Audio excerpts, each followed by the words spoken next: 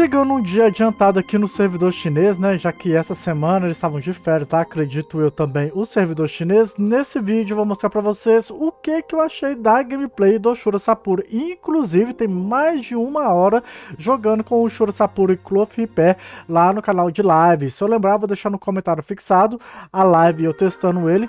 Mas também, se eu esquecer, tem o canal de lives e os outros meus canais, link na descrição. Então vamos lá. O Shura, ele oferece para a conta inteira 180 pontos de ataque físico, mais 0.8 de efeito de crítico para sua conta. E hoje ataque físico tá bem alto, né? Shura Sapuri, ó, Shura Sapuri não é Shura Divino, é, o nosso Oneiros, Thanatos, embora efeito crítico não conta tanto assim, Miro Divino, então tá bem favorável aí, né? Bônus de físico. Hoje gente não meta mais é Canon, né? E Money Gold, se eu não me engano. O Saxapuri, meio que o dano dele depende de quem tá na sua equipe. Tá mais Canon e Money Gold mesmo. Então vamos lá.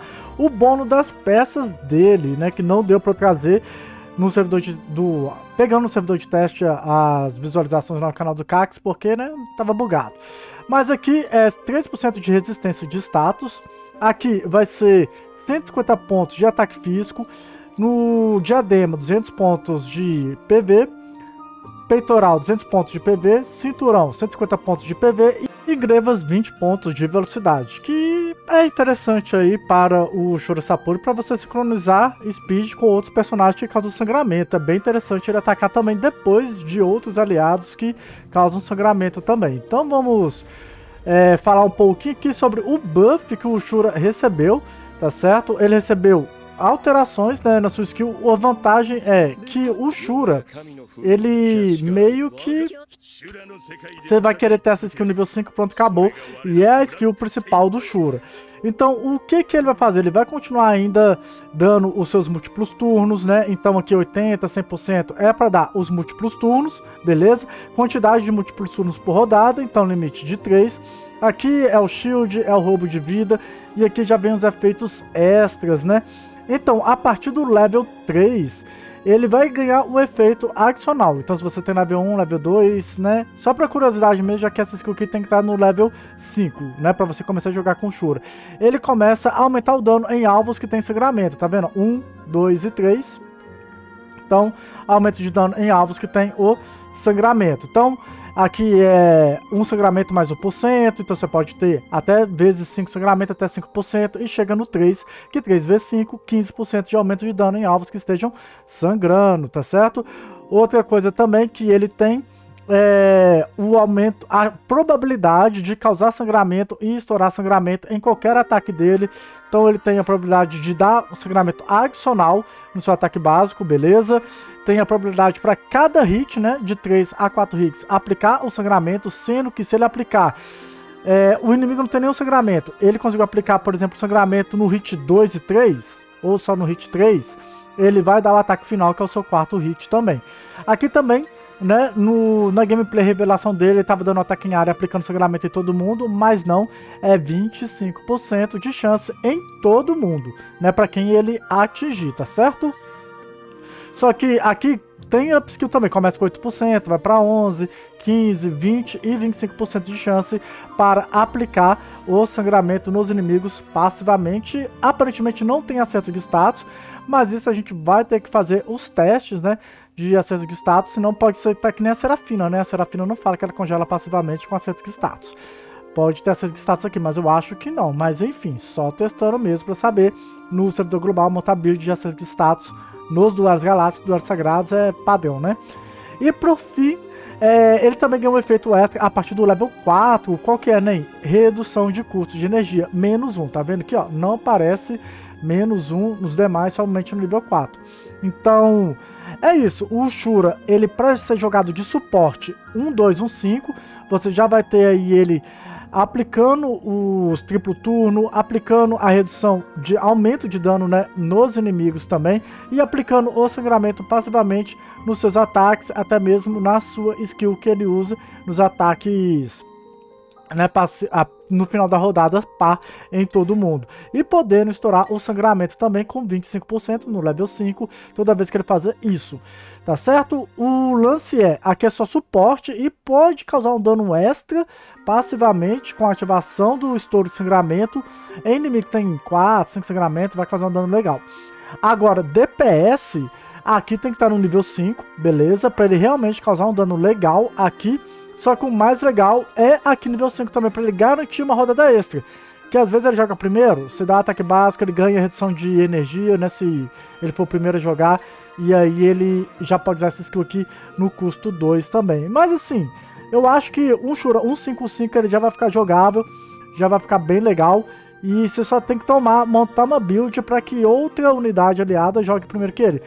Ele é muito top com o Doku Divino, então você coloca um Doku Divino mais rápido que ele e aí vai ser sucesso, tá?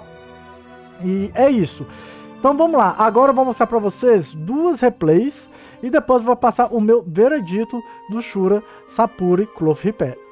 Nessa primeira play eu fiz algumas nubices aqui, mas vou falar para vocês algumas estratégias que eu percebi, né, ao jogar com o Shura Sapuri e também eu deixei o Doku para não usar o ataque em área também, que é uma outra estratégia. Eu queria favorecer somente o, a vibe DPS do Shura. Ele tá de Quimera nessa build, beleza? Eu gostei de jogar com a Sasha, porque meio que todo mundo fica dando contra-ataque aqui, vai fortalecendo o, os sangramentos também. E você não fica tão dependente de sangramento com a build de sangramento agora, que o Shura realmente você pode cosmar ele de build de DPS, tá? É, eu coloquei a Saori porque né, tem times de Thanatos e né, estão incomodando bastante o Hypnos. Mas enfim, eu dei o, o, o, triplo turno pro Shura aqui, que fica legal. Aqui foi um vacilo meu, poderia ter dado o ataque básico e os 100 dragões para dar sangramento em todo mundo, beleza? Então olha só como que foi vacilo aqui. Ainda mais que o inimigo não tava nem com o Show MM. Então, enfim, ataquei ali de novo, não é pra ter atacado. Eu tava atacando por causa da Sasha, né? Que eu tava assim, ah, Sasha, inferno. Mas enfim, deu o ataque aqui dele. E se eu tivesse usado o ataque do Doku, eu já teria meu ataque extra com o Shura. Finalizado, né? E dei mais um ataque ainda. Eu poderia ter usado um terceiro ataque também pra acumular mais ainda Quimera, né? Então ele já tá com três bônus de Quimera só nessa luta. Eu achei bem da hora fazer essa estratégia, ou você pode passar triplo turno pro Doku.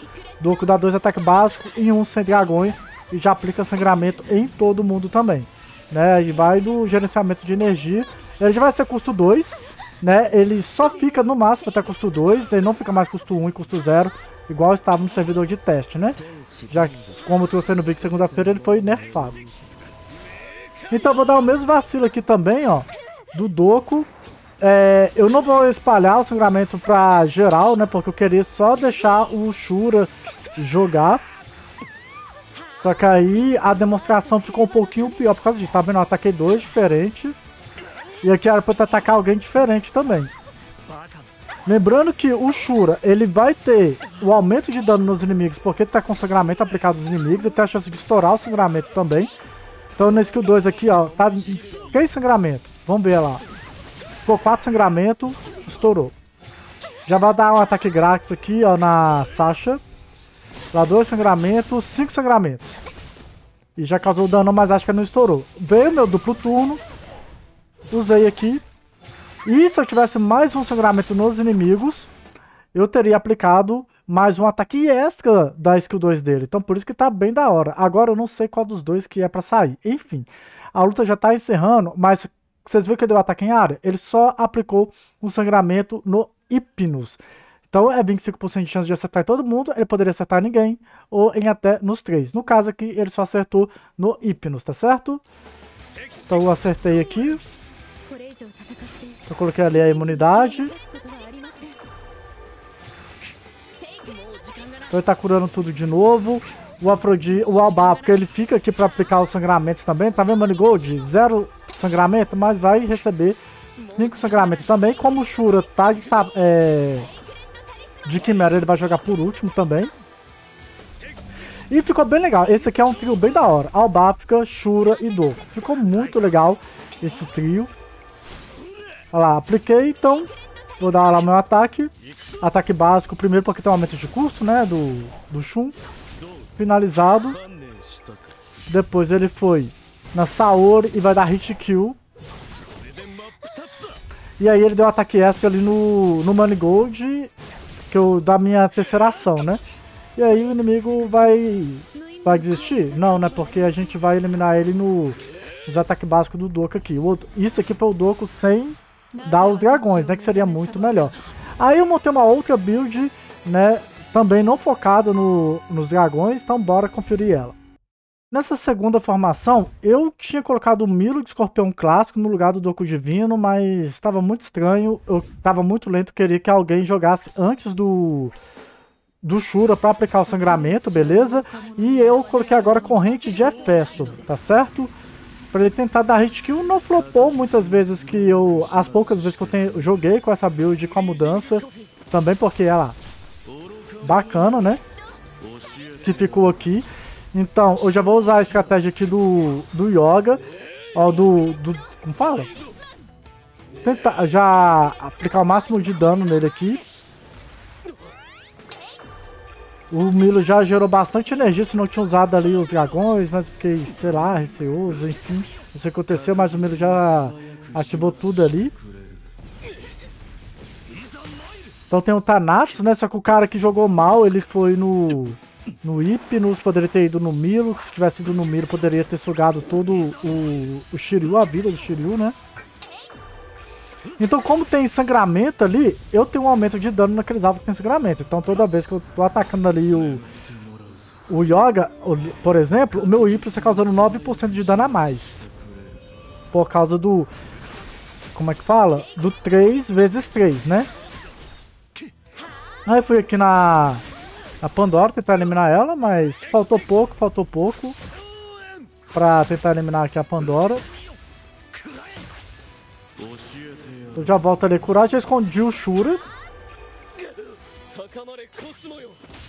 Ele colocou ali minha Atena, né? Talvez pra não gerar energia, enfim, não sei o que, que ele quis fazer.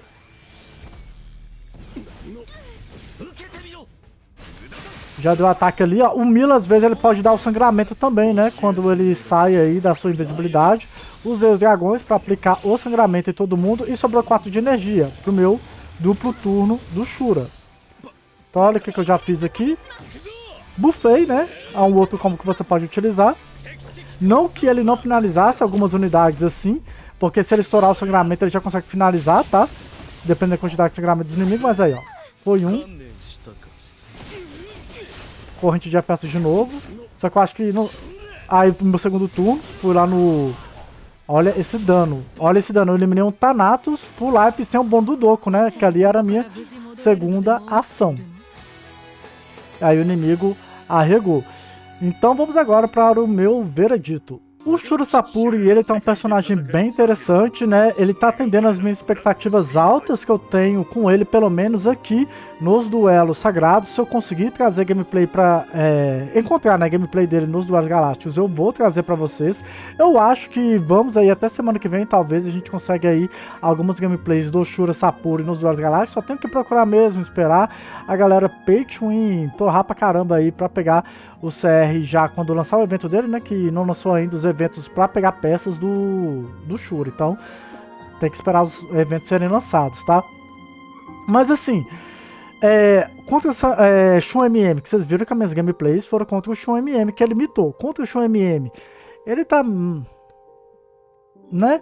mais ou menos, porque fica diminuindo aí o sangramento, a skill 2 dele, o Shun consegue estacar demais se você não tiver tirado os escudos do Shun. Então ele vai ter esses problemas, né, que o Shura Divino tem, o Radamanx Sangue Divino vai ter. Ele também tem um problemão aí contra o Shun MM, mas o Shun MM também é muito bom para jogar com ele também, tá certo? O legal do sangramento é que causa dano conforme o PV do inimigo, então você pode ser nerfado com o buff e tal, que o dano, né, vai ser de acordo com o PV, e esse lance dele causar o dano extra também, conforme a quantidade de sangramento dos inimigos, deixa o potencial de dano dele muito alto, só para quem já jogou com Shura DPS ou já enfrentou um Shura DPS, sabe que tem um potencial de dano alto, vai ter mais dano ainda com o aumento de dano que os sangramentos vão gerar e oportunamente também via RNG ele poderá estourar os sangramentos também. Eu não consegui perceber isso visualmente, né, ele estourando, sangramento e tal. É bem complicado, que é tanto dano que ele causa que fica um pouquinho chato, né? visualizar isso também e ele vai aumentar o dano da equipe toda como um todo em alvos que estão com sangramento. Isso aí é bem legal. Ele não fica totalmente dependente do Doka agora, mas ele fica dependente de componentes que aplicam sangramento para gerar umas estratégias adicionais, tá? Obviamente você pode jogar agora até com Shura sozinho mesmo, mas acho que o Shura sozinho ele não vai brilhar tanto assim, igual o Camus Divino sem o outro Camus. Né, ele faz lá os seus controles e tal, mas fica naquilo o nosso Shura aqui também, ele poderá aplicar o sangramento em um inimigo, se ele tiver pelo menos 5 com 5, e depois usar a skill 2 dele em um outro inimigo, e aí ele dá kill naquele inimigo, se ele aplicar o sangramento naquele inimigo, e depois dá um ataque gratuito naquele que ele deu um ataque básico. Então por isso que é legal ter aí o ataque básico dele também bem investido. Nessa situação, onde chegou na vez do Shura Sapuri, você não tem ninguém com sangramento. E pra, né não ter esse problema em gameplay, eu recomendo que você sempre coloque aí alguém em sangramento na frente dele e bem próximo, igual eu coloquei aqui o Doku Divino, você pode colocar a exclamação de Atena também, que seriam aí outras opções, tá certo? Fraquezas, Thanatos, né? Embora ali a última play eu consegui eliminar o Thanatos, mas Thanatos nos duelos sagrados não tem roubo de vida, então, né, o Thanatos consegue é, tem uma sobrevivência bem pior. Outro detalhe dele também, que ele tá, além de Thanatos, Serafino, né? Porque você tá usando uma build de Doku Divino, estourando aquele sangramento em área, Thanatos e Serafino vão dar muito ataque em área.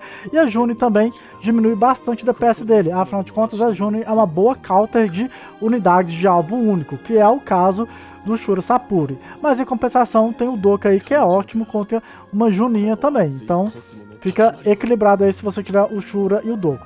No geral, as melhores gameplays foram com o Doku Shura, o Doku usando aí os dragões, faz uma diferença desse Shura muito mais forte, mas dá pra jogar com ele sem, igual eu joguei com o Milo, o Milo ganha um ataque extra, né, com o Shura também, então você tem lá dois de energia, o, o Milo vai dar quatro ataques, os dois de energia, o do Shura e o ataque que ele tinha por direito mesmo. Com o Milo Divino também vai ficar legal, né, o Shura e o, Shura, o Milo Divino tá um personagem bem jogável, assim... Dá pra falar muita coisa do Shura, mas, né, eu vou despertar o Shura, vou trazer mais gameplays do Shura e a gente vai falando um pouquinho mais sobre ele também. Mas no geral, é essa aí as fraquezas que eu acho dele. Tanato, Serafino, Juni para Shura DPS e Violência de Ares, que também controlou o Doku, né, Tchau Dragões. Tem esse lance aí também. Mas eu quero ver muito Shura nos Duelos Galácticos para ver o potencial de DPS que ele vai ter. E quando eu encontrar, a gente, vocês estão ligados, vai aparecer vídeo aqui no canal. Mas comenta aí, o que, vocês acharam, acharam do Shura? Vocês curtiram? Não curtiram? Deixa nos comentários. Comenta aí se tem mais alguma dica que vocês eu não passei aqui pra vocês nos comentários. Quem sabe vira vídeo aí quando ele for lançado no Global ou quando eu ver aqui as gameplays dele. Até o próximo vídeo, valeu e fui!